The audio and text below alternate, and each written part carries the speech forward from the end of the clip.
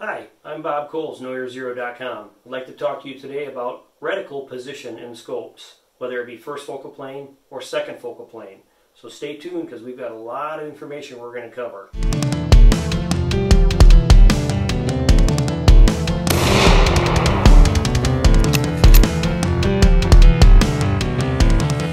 Hi, welcome back to KnowYourZero.com. And once again, we're in the shop. And today we're talking about optics.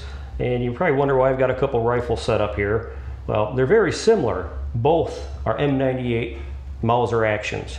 Both are chambered off the Winchester 284 cartridge. Custom barreling 22 284 Wildcat, 6 millimeter 284 Wildcat. They both have 4 to 20 by 50 optics on them. The difference is we have a second focal plane and we have a first focal plane. You can see by the image up here on the second focal plane, the focus is behind the turrets. So it's more toward the eye bell. What that creates when you're looking through the optic is you're going to get a crisp, dark reticle. And when you increase magnification, the image grows.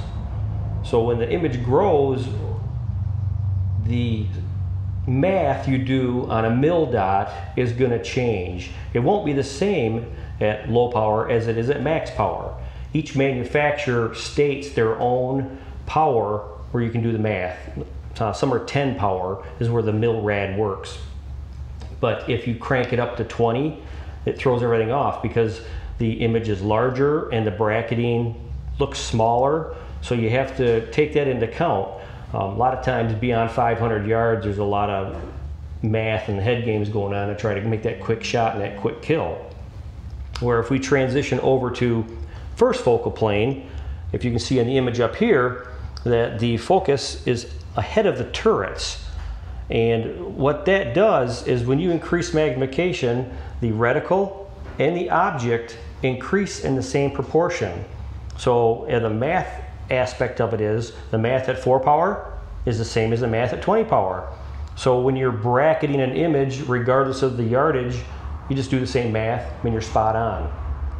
The issue with the first focal plane, and if you watch my first video link when I did a test review on the Pentalux TAC VF, when I was dialed way down to 4 power and it was a bright sunny day and the reticle seemed to wash out where I turned on some illumination and I could see them. So that's all first focal planes have that inherent washout of the reticle.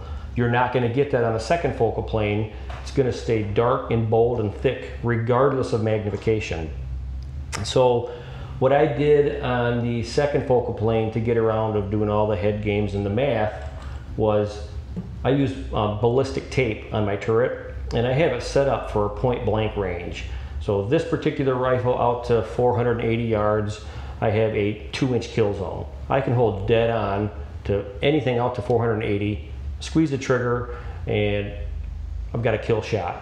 And I just dial in all my dope that's already on there. So I did that to make it easy and not have to do math and think on a second focal plane because I like how this has a thicker reticle regardless of in the dark woods, sitting on a hill on a bright sunny day, it's nice for that. Uh, this one out here I like because when you're doing long shots, math is the same and you just go with it. You don't have to worry about getting the tape, is it calculated right and all that. So with the two focal planes, is one better than the other? It's a decision you have to make. What's your application? It's going to be hunting, um, light, dark, light, dark, or precision shots way out there. Um, so just kick that around and what you want to do, as you can see in the two images I have up here, the focus tubes are located differently, which explains why on this one the image grows, and on the second, first focal plane they grow at the same rate.